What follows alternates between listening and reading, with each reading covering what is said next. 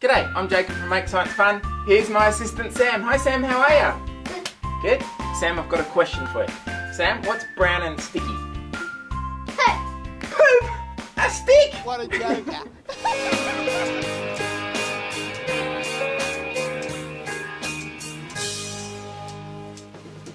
Sam, we're talking poo therapy. It's been a long day for Daddy today, Sam, so do you mind if I sit down on this stool? Sam, have you ever had diarrhea? Have you ever had diarrhea? hey? What's, di what's diarrhea? Hey? Yeah, Sam's had diarrhea. Everybody's had diarrhea. Hey? It's not very nice, is it? Today we're talking poo therapy. Yeah, how you can actually use poo or poop to make you better. The human body is wonderful and amazing. Sometimes you might eat some bad food with some bad bacteria or something. Your body detects the bad bacteria and says, Gotta get it out of here, quick smart! Your stomach vomits to, to get rid of everything in the stomach, including that bad bacteria, and your lower digestive system evacuates everything to try and get rid of everything out of there as quick as you can, and that's diarrhea. Your stomach and your intestines are full of bacteria, and most of those bacteria are really, really good. They help break down the food. They help produce the vitamins that you need as well. Sometimes though you can get a bit of an unbalance of these bacteria. Sometimes some of the bad ones grow more than the good ones. And sometimes when you take antibiotics, which kill lots of bacteria, well, most of the good bacteria in your stomach and in your digestive system are destroyed. One particularly bad bacteria is Clostridium difficile. That can actually take over. And when that repopulates, I mean repopulates,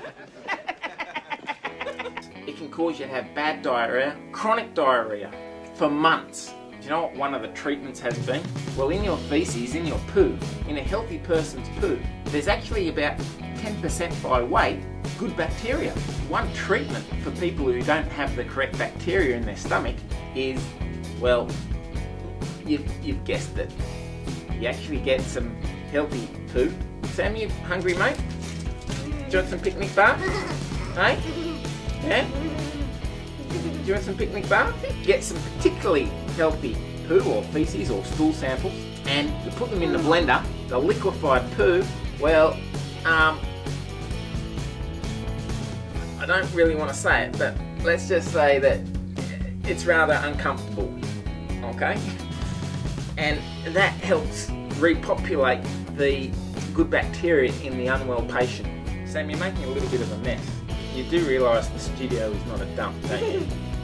Sometimes you talk so much, I think you've got verbal diarrhea. No, yeah, running, running.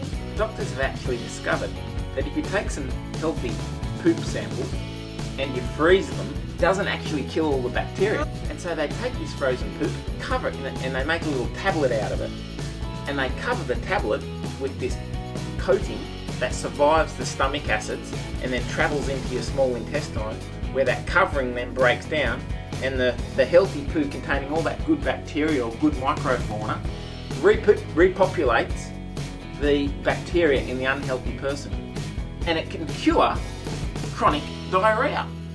It's very good. Now, unfortunately, those tablets, um, the only covering that they've got at the moment that resists acid is actually like translucent, so th- they don't look so good.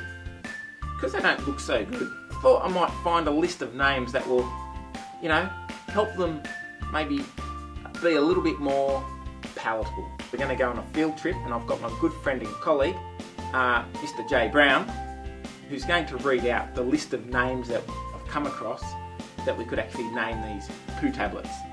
It's my mate Brownie, the woodwork teacher. Yeah, they call me a technology teacher. This technology teacher. All right, he's going to read out. He's going to read out the list of names for these poo tablets without smiling. All Right, right. I'll do my best. All right. Hooberry pancake sweet corn and chicken poop, dumplings, shiitake mushrooms, kangaroo steak,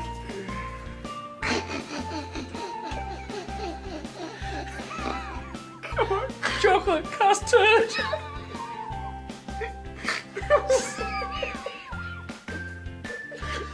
Soft shell crap. Feckled onion. Raspberry stoolie. Christmas logs. Drama poo. Cheese and crappers. Oh my goodness me.